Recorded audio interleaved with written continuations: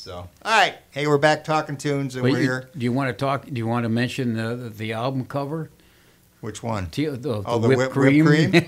Yep. Yeah, that's Oh, I do. Actually, what my mom had that I album. still have that album Yeah. cover. We Every- got it hanging on the wall. everybody brought that, bought that album just for that, Just for that. reason. Yeah, the woman in the whipped cream. yeah. That's awesome. Well, it's just like you with that with one song. What is it, Raunchy? That uh, By Bill Justis, Bill the album Justis, on the and front he of had that. the album yeah. cover has got this. The front young got lady a in it. girl with a polka dot bikini on Nice. it, and the back of it is a picture of her backside with her bikini. See, they Oh wouldn't get my away, you couldn't get away with that now. I don't think. No. That was in the, yeah, that's in the '60s, '50s, '60s. Yeah, Racy. 60s, yeah. And then of course there's that one I got in the '70s too. That album cover that I Yep. have. But the long. Who was that? The, the, op, op, the yeah, centerfold. You, you always centerfold. You opened Yeah. it up. Yeah. And then of course the my favorite is the Linda Ronstadt album that I can't think of at the moment. But anyway, Anyways, Beth is here, so we don't want to get too we- discussing. We Well, can't you know. forget who we got here to talk. I think I can keep. of I think I can keep up with you. Yeah, I know you can. I know you can. so Beth Beaman is here from the Playhouse of White Lake. Yep. And it's uh, the newly restored Playhouse of White Lake. Mm-hmm. It was was uh, Howmet Theater previously, right? Yeah, for about 45 years. Yeah. It was known. And most people still call it the Howmet, which is so fun. And, um, you know, we tend to call it the Playhouse, which is actually was known as the Playhouse for longer over the period of, of the history of the Playhouse, which opened in 1916. So um, it was most most referred to as the Playhouse. Right. Which is Kinda why we that. chose the name. Call yeah. it what you want, but just come. yeah, exactly. Exactly. Yeah. Well, I just like the LC Walk Arena. I don't think I could ever not say Uh, LC yeah. Walk Arena Yeah. either. So, yeah. Well, in a generation or two, they'll be calling it, is it the Mercy Health? Is that what it is Mercy now? something. Mercy something. Mercy, yeah. So, you know, Mercy Gardens. I don't There know you what go. it's called. I really don't know. yeah. Well, I couldn't believe they dishonored that name like Yeah. that. I to me that was. Mm, but I keep my mouth shut most of the time. No, you don't. Except Yeah. you're on the radio now, Yeah, so. Yeah, right. he never keeps his mouth shut. He don't know who he's trying to fool. yeah.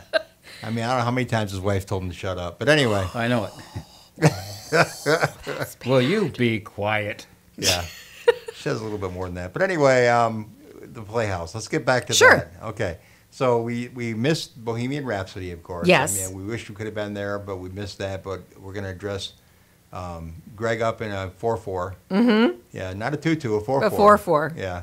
And, uh, And you're dressing in the lederhosen. I'm doing, no, he's doing the later, wasn't Oh, he? okay. Oh, I am? Paul's oh, yeah. it. Okay. Absolutely. Yeah. Can I, you gotta, do we have to learn how to yodel? Well, duh. You don't know how already? Come on. Do I a can- little yodel for me. I can do a good river dance. I can kick my feet pretty good. Oh, yeah, right. Yeah, that, that's effective it- on air. Is it the same as your rain dance that you do? Yeah. Oh well. Yeah. Yeah. I could do that too. That would really. Enjoy, Yeah. The crowd would enjoy that. Yeah. yeah, I'm sure she would.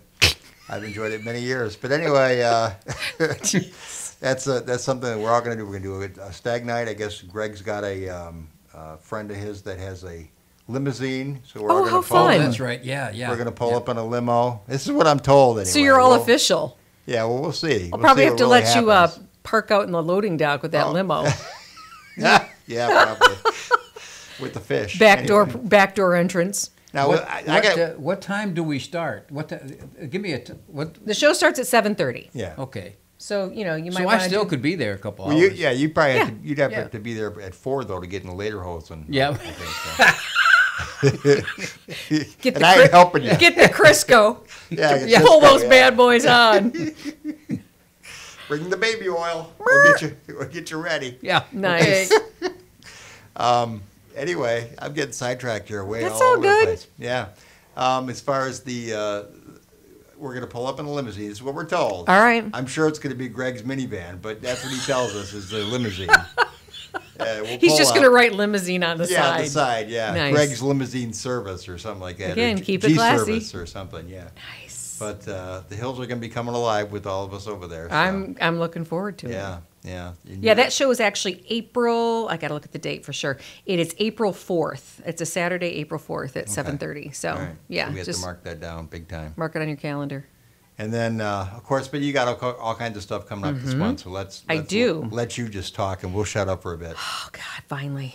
No, it's Oh, I like this lady. I know, right? I know. no. The Playhouse is super busy. We have about I think it's 25 events between this coming weekend and June, the end of June. Um, so the Playhouse is is uh, busy all the time. Um, we actually are doing, um, we're in our third session of Yoga on Stage Yeah. uh, with Cindy Beth Davis Dykema, who has a, a long name for an incredibly beautiful woman who we just, I just hired to work with me half time. She's doing our social media stuff and marketing, and I'm working with her. Um, but she's an ama- amazing yoga instructor. Um, so last Okay, time. wait a minute here. Stop. I gotta stop you. Oh, gosh. Paul, she says she's an amazing, beautiful woman, Yes. And she has people up there on the stage doing yoga. Couldn't, wouldn't you pay for to go up there? and Yeah. Yeah, you should Yeah. do some yoga. It's really Yeah. good for you. Yeah, It's awesome. I eat it all the time. Yeah, Oh, stop it. All right. Anyway, I'm oh, sorry. Lord have Go mercy. ahead. Go ahead. I thought, you- I thought y'all were going to let me talk. I know. I'm just kidding. That's my fault. That's he me. started it. He just went he there. always liked mom best. I was going to say, are, are we ready to say, I'm telling. I'm going to tell mom. So that is on uh, this Saturday, uh, March 14th from 10 to 11.30 a.m. Uh, it's $20 and half of the proceeds uh, benefit uh, the White Lake Youth Theater program, which is So part of the Playhouse. Right now, because 10 oh. o'clock is when the show is. So Oh, yes, of course. Right now. Why aren't you there, Beth?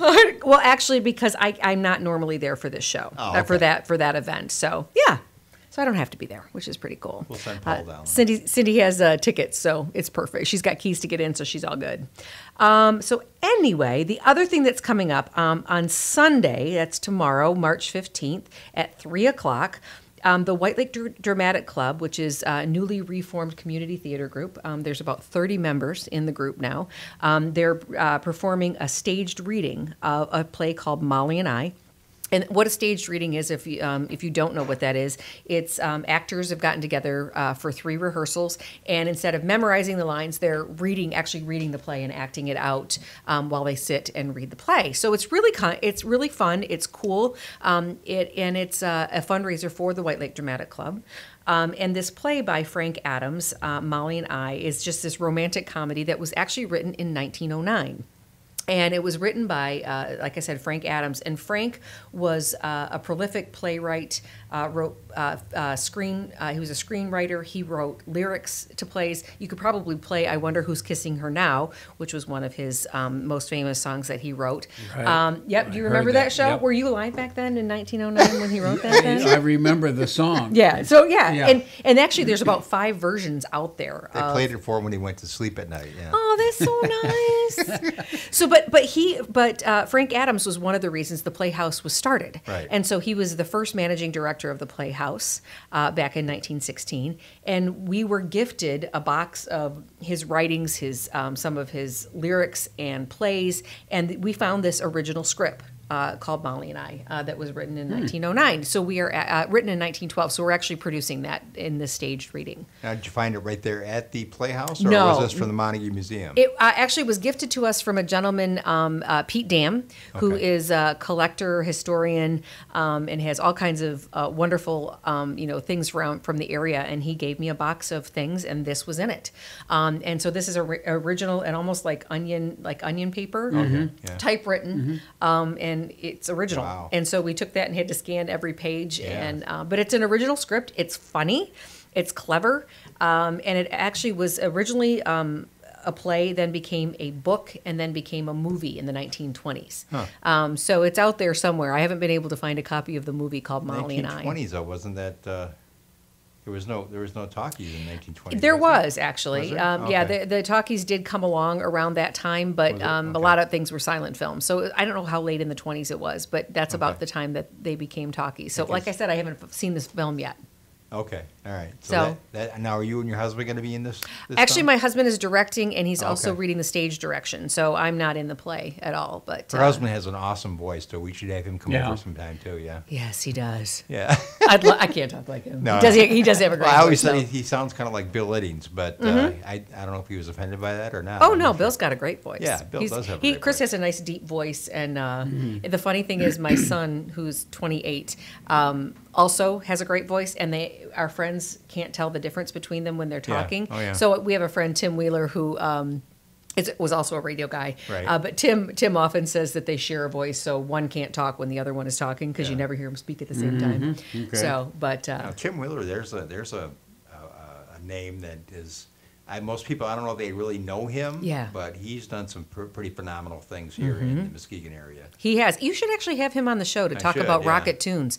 I ha- Um, have had him on the show in the past. Well, yeah, other shows. back in the day. Back in the day. Yeah, he's got this whole series of cartoons that he has created and written that are, um, and they're they're funny, they're clever. I've done some voice stuff for it, which is why I know about them. Right. But they're free to all schools, um, and it's called Rocket Tunes, and they deal with things like. Um, you know, uh, self confidence, um, being assertive, uh, being picked last. Um, there are all these different things. I don't know if he's up to 16 or 18 of these cartoons, and they're available in schools. And I'm I don't need to tell you all this because Tim could come and talk about it. But there's these cartoon versation cards that go with the conversation with, so the kids can watch the the the cartoons, and then teachers and parents can use these cartoon versation cards to talk about what these issues are. Um, and it's they're really effective. I know he's partnering with a bunch of different organizations in the community um, to get these out there into the into the hands and and uh, kids and He's and very parents. creative. Very creative. Oh, he's amazing. I Good mean- guy. Didn't we hear, so, didn't we mention something about Rocket Tunes here, like, just lately? Um, my, In some of our conversations, talking about I mentioned Playhouse? Rhythm Rockets. If that, No, yeah, sure but. Rocket Tunes sounded familiar, It like could I've be. just Yeah, it heard could that be. lately. Yeah. Could be. It could Maybe be. Britta was talking about Somebody, it or something. yeah. She might, yeah, I think Britta does some work with Tim Yeah, too. yeah. Um, and I know Tim I'm sure is, she does. I mean, she's one, one of the great voices also Oh, in yeah. Muskegon. So yeah. Yeah. Yeah, and I know t- uh, Tim is actually planning on doing a um, cartoon festival at the Playhouse in August, right. uh, at the end of August before school starts. So that's going to be a fun day for everybody in the community. You community know, the to first come out. the first time I heard one of Tim's commercials that he did was back when he was doing the Hackley commercials. Mm-hmm. Oh, they were hilarious. And then he- Absolutely and hilarious. he used back then though he used like uh, like New York talent to do these commercials. I think though Mm-hmm. back then they were funny. they were hilarious. Yeah, they were just very funny Yeah. stuff. And uh, I just heard one coming in, um, one of his on the on the radio. Oh. I, I think it was on here. Yeah, I, I'm sure it was because I was listening. yeah. I think it was a Hackley Community Care. Yeah, it was a oh, yeah, dental. It was a yeah. dental uh, commercial, and I was like, oh, that's Tim's voice. Oh, yeah. So he does a lot of work here in the community as well, and um, but he's he's just a good guy, and um, he's actually the chair, uh, the president of the Ch- Friends of the Playhouse, our uh, uh, support group. That sounds like that sounds weird, but the Friends of the Playhouse, which are a group that does, does things to support the Playhouse. It's not like you have to go there because you need support. and then you do the yoga on the side. And you absolutely do yoga Yeah. on the side. Okay, that's as as we're moving along. I mean, I keep, Yeah. I keep interrupting. No, you're good. You're good. So, but- so just to, to um, wrap around back around to this. So Molly and I, the White Lake Dramatic Club, on Sunday, um, this Sunday at three o'clock. So that's tomorrow, um, and it's basically uh, donations accepted at the door. So we're not we're not doing a uh, you know a set fee for um, these, and any revenue we get will just help to support the White Lake Dramatic Club. Anybody interested in joining the club can certainly contact us um, through the website. Um, and it's open to anybody who's ever thought about, you know, either being on stage, um, helping out backstage. If you're interested in learning about, you know, costuming or props or how you build a set, um, interested in directing things like that, um, we invite you to come and be a part of the group. Um, it's a, We're, we're used to being backstage, aren't we? that's where I like to be too. Well, I, I do miss, like I say, I, I've told Beth this many times that when I worked with Judy Johnson at the Civic Theater in Muskegon. I remember her name. Yeah, yeah, and I used to work with her all the time doing the audio work and stuff like that, and I, I do miss it, but Mm-hmm. Sure. it, it does take a lot of, a lot of time. It does. I mean, you got to be there every every rehearsal and all Mm-hmm. that stuff, and yeah. Gee, I'd rather do I'd rather do stuff like that than be on the stage. Oh yeah, me Oh, too. yeah. Me too. Me too. For one thing, I can't read, so there you go. I can't act. So yeah, that's true. anyway, um, the next one. So, uh, coming up just right after um, St. Patrick's Day, and it looks amazing in this office, by the way. I've been in Oh, here yeah. twice, and, and they go all Franklin out does here. an awesome job. Yeah, they He go all out here. You've got great, uh, you know, happy St. Patrick's Day stuff everywhere. Um, but on Saturday, March 21st, we have Aoife Scott. And uh, so the folks out there that are uh, fans of Irish music will Bill recognize Marshall her name. well, yeah. Absolutely. So Aoife was one of, and it's spelled A O I F E, and it is pronounced Aoife. Um, she was one of the headliners at Irish Music Festival this year. And um, she was just named uh, Best Female Vocalist in Ireland. And she's, yeah, so she's super. And if you, uh, you know, go to her website and check her out, she's really great. So she's going to be performing um, at the Playhouse on uh, March 21st along with. Special guest Ben Bedford, who's a community favorite um, up there. He's actually out of Indiana, but he he comes up to the Playhouse uh, once a year and does a great show. He's a great singer songwriter, uh, historian, and uh, storyteller. So he's great. Okay. So that's coming up on March 21. All right, we'll get one more in here and then Absolutely. we'll take a break. Okay, and this is the one you guys were talking about earlier. Saturday, March 28th at 7:30, we have the Insiders, which is a Tom Petty tribute band. Here we're going. Um, and you guys absolutely need to come to that. So it's uh, they're also doing. Um, uh, a Buddy Holly tribute because the, the same a couple of the same members in the band, you know, do this as well. So they're going to kind of open with that, and then they're going to do the Insiders, you know, Tom Petty tribute. And this guy, uh, um, I'm going to blank on his name. It's Max Lockwood, um, is the lead singer for the band, and he sounds like Tom Petty. And they've got great energy. Um, check them out on their website as well. Because So, like, like I've told you before, I mean, I've always wanted to see Tom Petty in Yeah. concert, and never did, so. yeah, it makes me sad. Yeah, it does. It makes Yeah. me sad too. Yeah. So we got to go to that now. Now, as far as tickets, we can get them Yep. through. Through their website, um, the Playhouse, their oh, through our website. okay, yeah, I was through say. the Playhouse at whitelake dot, uh, org. Um, you know, it's the service that you'll go to is Thundertix, and it's an easy peasy. You get your tickets, and Because we got to do that before they go. sell out. too. Yeah, you should. Because what do you got? What do you? How many uh, seats do you have now? 367. Okay. Mm-hmm. So it's a nice size venue, um, especially for this kind of music, and you know, it's nice and intimate. There's not a bad seat in the house. no. Um, you know, I like that. Oh yeah, it's, it's true though. I mean, like I say, when I. I can't hate to keep bringing up uh, uh, Peter Yarrow, but when I went to saw him, it was just it was amazing. Yeah. Except that the woman sang too loud next to me. But other than that, other than that, see, I have to worry about my wife singing because she never sings. Oh, my she'll- gosh. she'll, like That always "Mm, seems to about it." happen to us. We get a ticket and go to a concert, and everybody stands, nobody sits, and you stand up, and the guy in front of you is seven foot tall. You know, Yeah. and then you can't see anything. yeah, Oh, yeah, you, that you was just the gotta James sit in the balcony. James Taylor concert. James I remember Taylor that. concert, oh, I got yeah. some great tickets for the James Taylor concert, and we're sitting there, and there's this guy seven foot tall right in front of Right us. in front of He- us. He Oh, stood up the whole lantern. concert. It was like, oh, jeez. Well, that's pleasant. Yeah, it was pleasant. Anyway, uh, we did enjoy the big screens, though. We could see those. Yeah, uh, you could see it, between yeah. his head. Yeah. I love James Taylor. He's Oh, yeah. awesome. Yeah, I saw him. Great show. That couple is of one of my now. favorites. Yeah. Mm-hmm. Yeah, I saw him with uh, with Carole King, and then I also saw Wow. him. We, we saw him with Bonnie Raitt. Right. So, yeah, Nice. Good stuff. All right, we'll take a break, and you, you got plenty more stuff that you're Sure. got coming up. So Always. We'll talk about that too. All right, talking tunes.